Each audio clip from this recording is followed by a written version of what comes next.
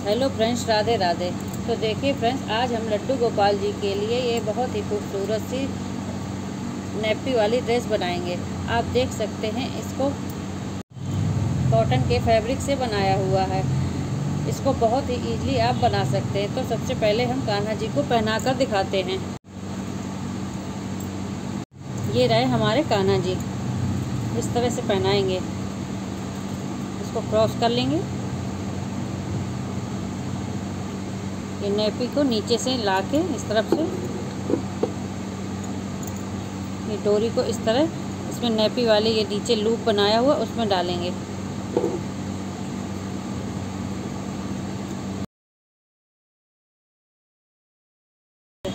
फिर इसको इस तरह क्रॉस करके पीछे को ले जाते हुए इसमें बाँध देंगे।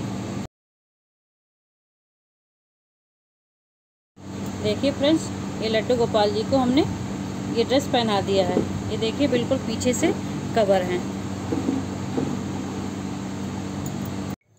ये कॉटन का फैब्रिक कब है?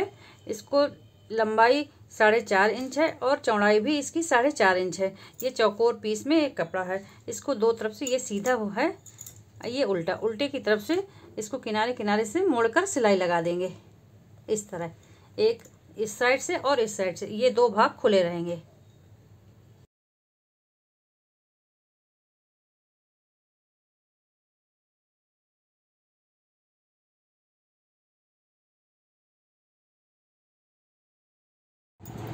इसमें प्लेट लगाएँगे। दो इस तरफ़ लगाएँगे, दो इस तरफ़। इधर से उठाएँगे, इधर इस तरह सेंटर के बीचों बीच की तरफ़ रखेंगे। एक प्लेट और लगाएँगे इस तरह। फिर इस तरफ़ से उठाएँगे। इस तरह इसके बगल से लगाएँगे। फिर एक प्लेट और लगाएँगे। इस तरह। इसमें सिलाई लगा देंगे।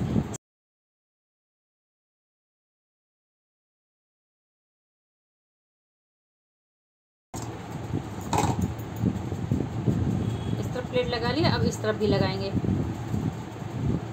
एक प्लेट इस तरह और एक प्लेट इस तरह।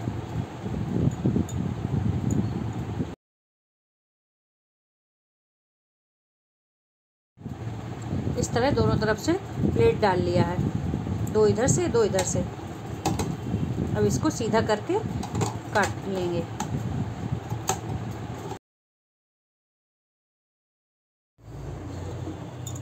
ये प्लेट लगाने के बाद में इस कमर की टोटल लंबाई देखें तो चार इंच है।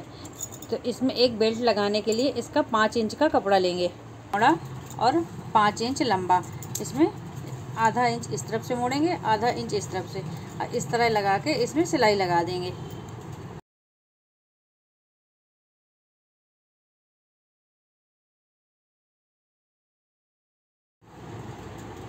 इसमें जॉइंट करने के बाद में इसमें इस तरफ़ से मोड़ेंगे और आधा इंच इस तरफ़ से मोड़ेंगे।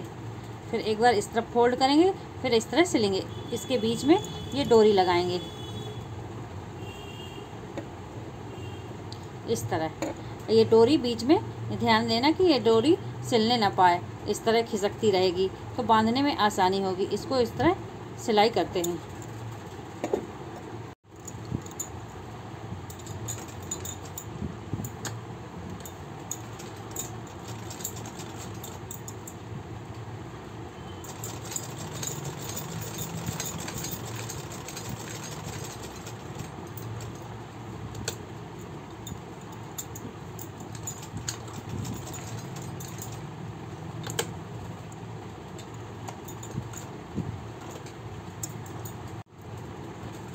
इधर पे, बीच में जो एक कोना निकला है, इसमें ढाई इंच की एक लूप लगा देंगे। इस तरह डोरी बना के इसमें उल्टे तरह से इस तरह इसमें ज्वाइंट कर देंगे।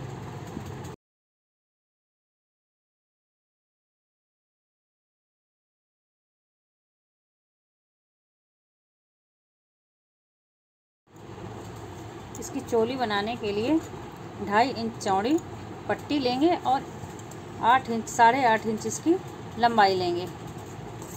इसको इस तरह, ये उल्टा है, ये सीधा है। ये उस तरह, उल्टा तरह करके इसमें सिलाई लगा देंगे।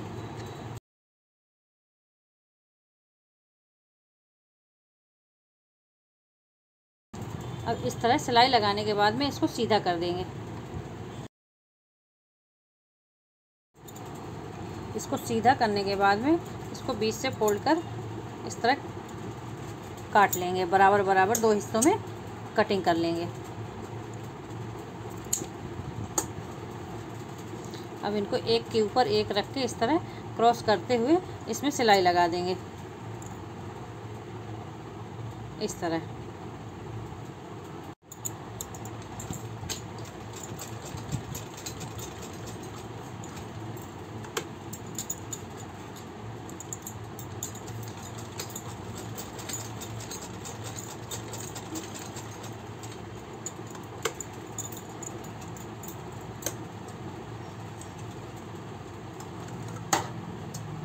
ये ड्रेस बनकर तैयार हो गई है।